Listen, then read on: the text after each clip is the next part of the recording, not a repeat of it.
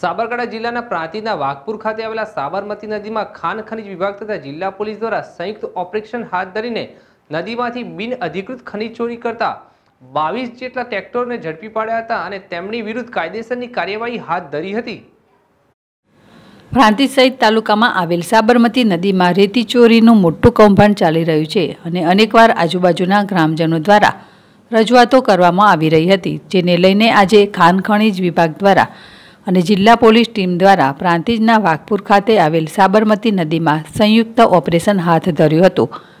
અને સાબરમતી નદીમાં એકદમ ઓચિંતી રેડ થતાં ટ્રેક્ટર ચાલકો ટ્રેક્ટર લઈને ભાગ્યા હતા અને ખાણ ખનીજ વિભાગના એલસીબી સાથે ખનીજ માફિયાઓ દ્વારા ઝપાઝપી પણ સર્જાઈ હતી.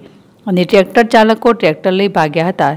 ત્યારે એક ટ્રેક્ટર ભાગવા જતાં પલટી ખાઈ ગયું હતું તો જિલ્લા એસપી નીરજકુમાર બડગુજર ખાણ ખનીજ વિભાગના અધિકારી Subhashbhai Joshi, LCB PI MD Champawat, Prantij PI PL Vaghela સહિતનો પોલીસ કાફલો ઘટના સ્થળે આવીને ખનીજ ચોરી કરી રહેલ બાવીસ જેટલા ટ્રેક્ટરોને ઝડપી પાડ્યા હતા અને તેમની વિરુદ્ધ કાયદેસરની કાર્યવાહી હાથ ધરી હતી અને બધા ટ્રેક્ટરોને પ્રાંતિજ પોલીસ સ્ટેશન ખાતે લાવવામાં આવ્યા હતા.